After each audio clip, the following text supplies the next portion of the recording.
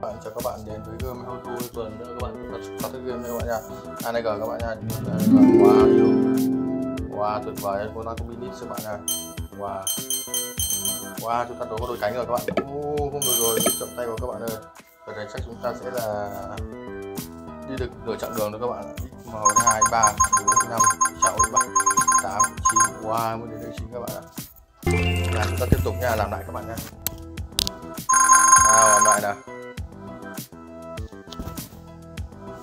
Wow, cửa này cửa chúng ta sẽ đi cửa David các bạn nhé wow như chiếc đầu wow wow đi cửa năm đó ok luôn nào chặng đường khá là dài các bạn nhé like sang đây ok uh. wow bay rồi các bạn ơi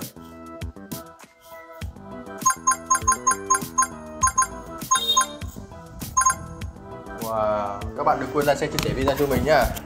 Nào chúng ta đang chơi level 25 các bạn ở à, nào. Nào chúng ta tiếp tục sang level 26 các bạn nha. Rồi ok nào.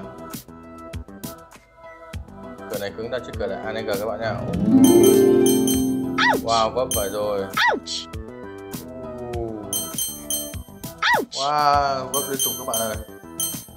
Wow liệu rằng chúng ta có bay được không wow không được rồi các bạn ơi. Cửa này lỗi rồi. Chắc là tầm khoảng x4 đấy các bạn nhỉ? À x6 các bạn ạ. À, lại các bạn nha. Cửa chinh phục bằng được thì thôi. À, cửa. An nào. Rồi. Chúng ta phải lại rồi các bạn chúng ta dắt theo một con à, này đi các bạn nha wow. Những thiên thần ác quỷ gặp mình là tự biến hóa hết các bạn ạ. À, xem đến à, đây mới nào. Wow cửa thiên thần đã mở cửa cho mình rồi. Vậy là video của mình đến đây là kết thúc rồi. Xin chào và hẹn gặp lại các bạn nha bye bye.